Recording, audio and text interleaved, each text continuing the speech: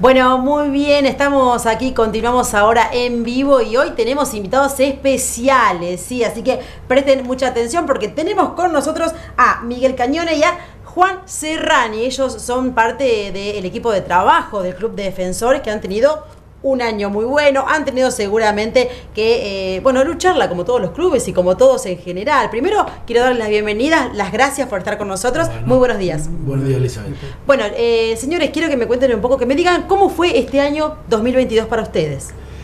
Bueno, el año fue muy difícil, como para todos, como para las familias, para las instituciones también, no quedan afuera de, la situación general. Un club eh, así tan grande como el nuestro tiene una gran cantidad de movimientos y de rubros que atender.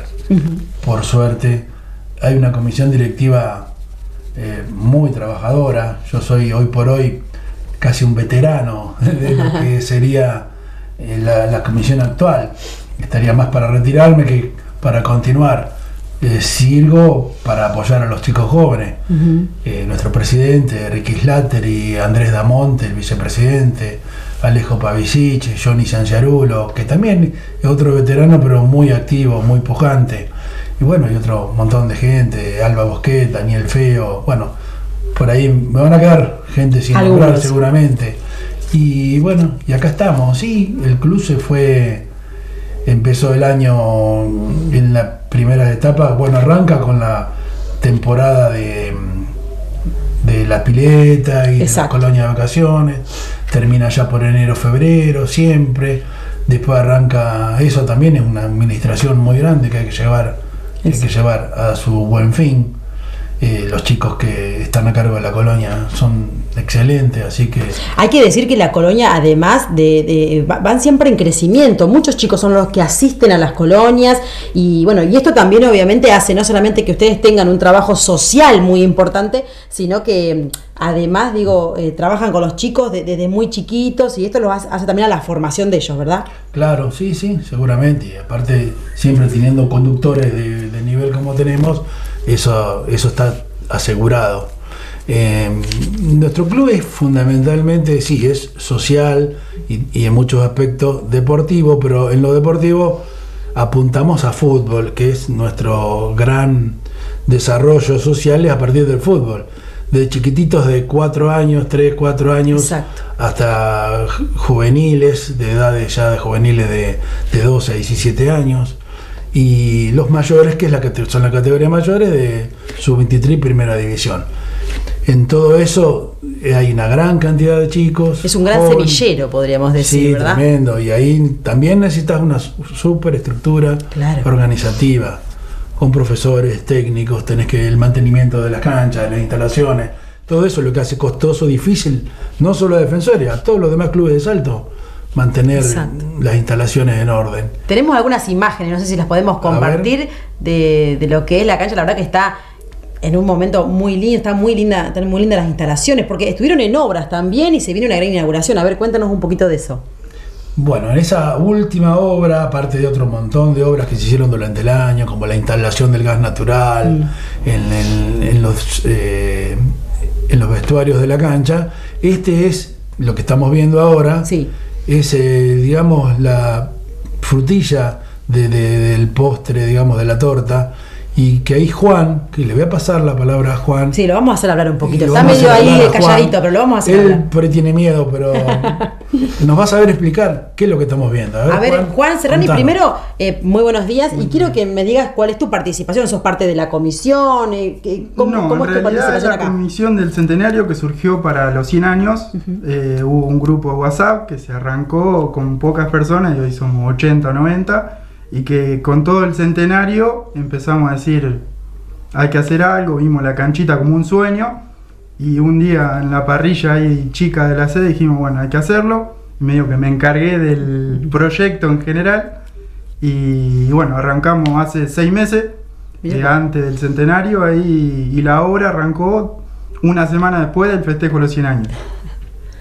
Eh, fue como un sueño y dijimos, bueno, tenemos que estar porque la mayoría de los que formamos parte de ese grupo eh, jugamos toda la vida ahí, desde los 5 años hasta, los 20, que ponele que ahora los últimos 10 años casi no, no, había actividad en la cancha, y dijimos hay que hacer un sueño, eh, parecía inalcanzable y bueno, y hoy lo estamos inaugurando. ¿Podemos decir que lo hicieron en tiempo récord? ¿En seis meses dijiste que lograron hacer todo esto? Sí, menos de seis meses, porque el festejo fue en agosto, ponele, y hoy estamos en diciembre. Fueron tres meses y pico, que no solo fue hacer la cancha, esa pared que se ve ahí se hizo de 20 Hay un mural, hay un mural Claro, primero se había hecho un mural para los 100 años y para separar lo que es el evento de las palmeras de la cancha, hubo que hacer una pared de 20 metros, un baño, después se echaron 15 camiones de, de tierra ahí en donde era la vieja cancha de bocha para ponerlo a nivel y en un futuro eh, poder hacerlo, porque si no iba a ser imposible entrar en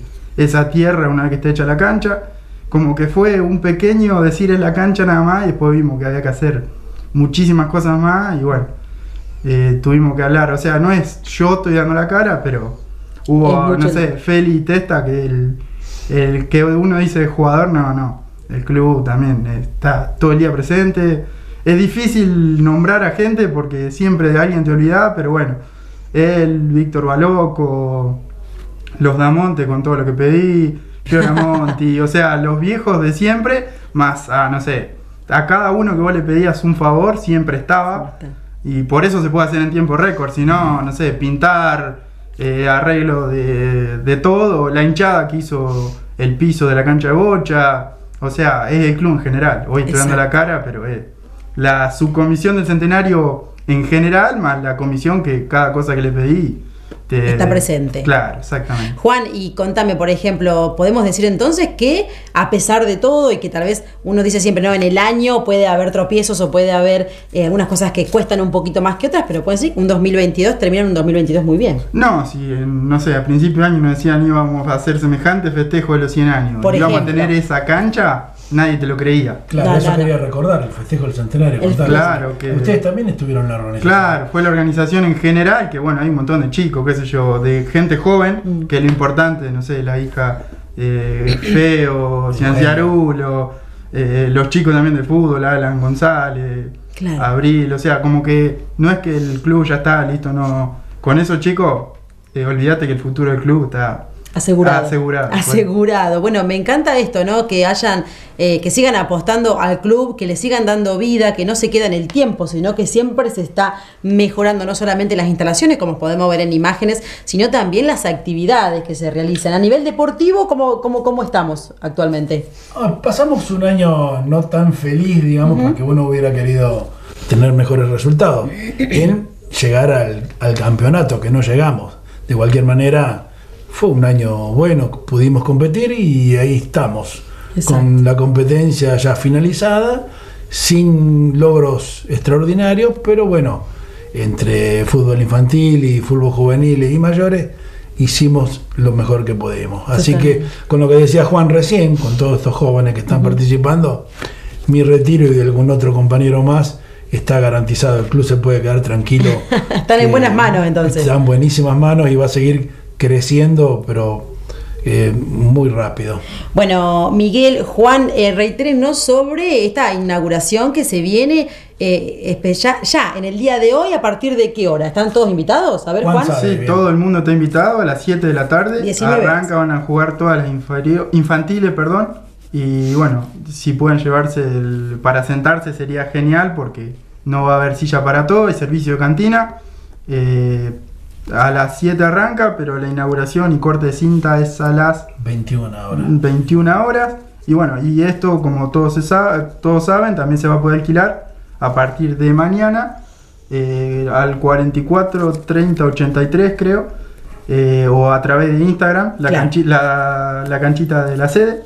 Y bueno, tanto invitado y hoy a las 7 arranca todo. Bueno, genial, nos encanta, nos encanta que, que terminen el año así, inaugurando una canchita de fútbol 5, que, que bueno, como bien decían los chicos, la han hecho en tiempo récord, eh, aproximadamente en tres meses, y bueno, lograron terminar este año 2022 de esta forma, que también es un gran logro y que también está buenísimo. Así que bueno, felicitaciones a todos, a todos los que forman parte del club, a la comisión directiva, eh, por todo lo que han logrado y bueno, y esperemos que el 2023 eh, bueno, también puedan eh, tener los logros competitivos que, o, ¿no? los, las metas competitivas que, este competitivas que se, proponen. así que en los últimos años estuvimos muy muy bien, este año no tanto, pero siempre la expectativa de, seguir luchándola está en todos los directivos. Exacto, exacto. Bueno, chicos, muchísimas gracias y felicitaciones. No, muchas gracias, Elizabeth, y gracias por la nota. No, por favor. Nosotros nos vamos a un pequeño corte y volvemos con más información.